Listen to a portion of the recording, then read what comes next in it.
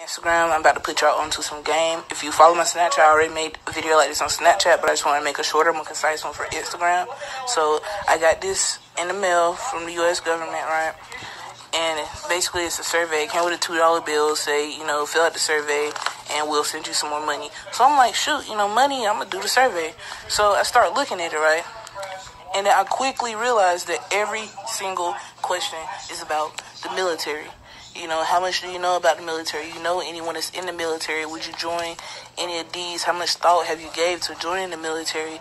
You know, how do you feel about the military? What type of things will drive you to join the military, right? Every question is about the military.